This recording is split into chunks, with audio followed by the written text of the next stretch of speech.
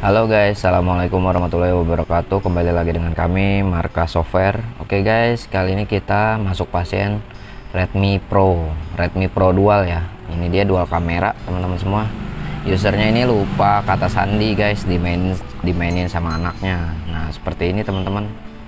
Kita langsung aja ya, tuh terkunci dia. Pokoknya kita menggunakan Miracle Thunder terbaru ya guys yang sudah pernah kemarin saya upload ya untuk teman-teman yang belum memiliki Miracle Thunder langsung aja di download di konten video kami yang sebelumnya. Pertama-tama kita read info dulu ya guys. Jangan lupa pencet tombol volume atas ya. Lalu colok USB oke. Dia mudah guys terkoneksi ya. Tidak perlu file scatter gitu guys kayak UP box. Oke buat teman-teman yang mau mencoba silahkan di download ya Miracle Power Toolnya di video kami sebelumnya. Nah ini dia ini serinya Redmi Pro Omega ya. Redmi Pro Dual Omega guys. Dia dengan seri MT6797 langsung aja kita klik format teman-teman semua ya. Klik format lalu kita pencet volume atas dan dicolok. Yap udah masuk connect. Dia simple guys. Dia nggak perlu ribet ya pokoknya. Nah tuh kayak gini guys. Sudah finish ya oke? Okay. lanjut aja. Kita akan cabut lagi nyalain ya. Kita tes. Sebentar sih teman-teman ya. Kita akan langsung coba nyalakan aja ya. Oke? Okay. semoga tidak stuck logo ya guys.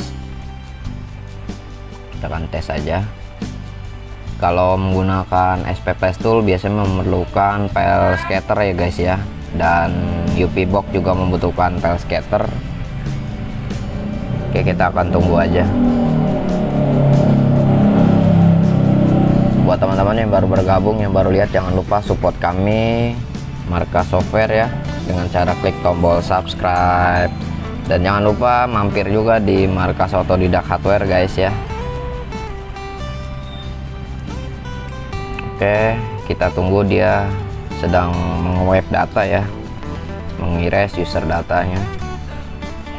Karena dia tidak bisa masuk ke mode recovery, teman-teman.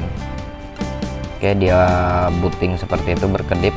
Kita akan tunggu. Nah, dia ada iris seperti itu, teman-teman. Kita tunggu aja. Karena loadingnya sangat lama ya. Setelah di web jangan takut untuk kasus ini tidak botlop ya.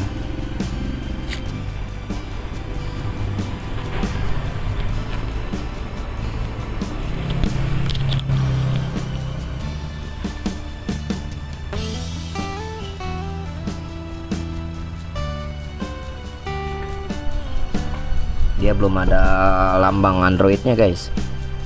Tulisan Android di bawah ya. Masih Mi doang.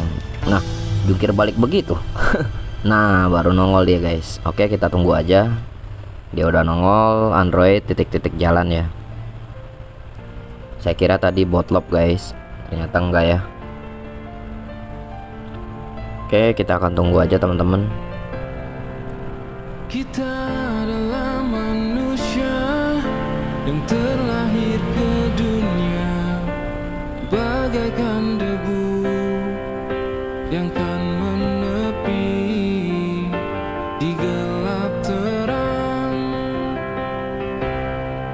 tersadarkah kita akan dosa selama ini? Yang pernah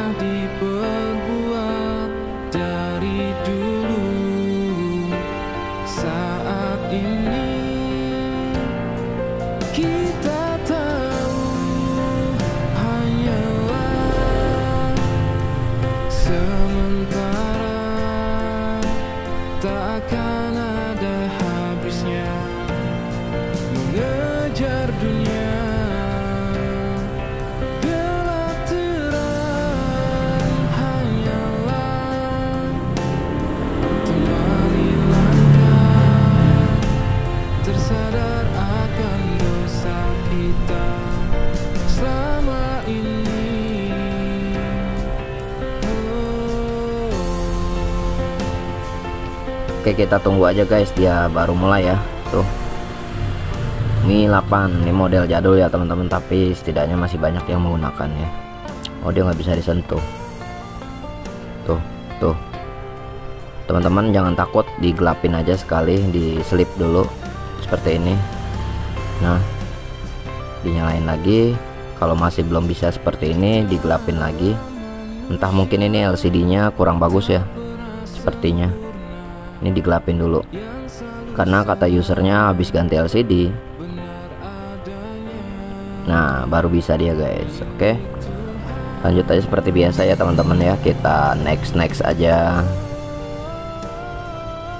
Kita pilih bahasa Indonesia dan lokasinya Indonesia. Next next aja guys. Oke buat teman-teman yang baru bergabung yang baru lihat jangan lupa support kami dengan cara klik tombol subscribe. Oke dan next next next next. Setup complete Oke. Alhamdulillah ya nggak botlop kita akan lihat versinya ya. Tipe HP-nya juga. Ini dia Redmi Pro. RAM 3 internalnya 64 GB ya. Kita akan coba koneksikan ke WiFi apakah ke lock micloud karena usernya nggak tahu ini eh, ada micloudnya apa enggak ya? Ah, sorry salah guys. Oke kita akan coba koneksikan ke WiFi.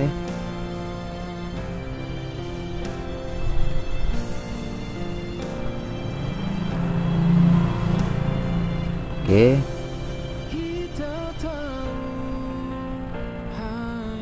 tuh salah sandinya.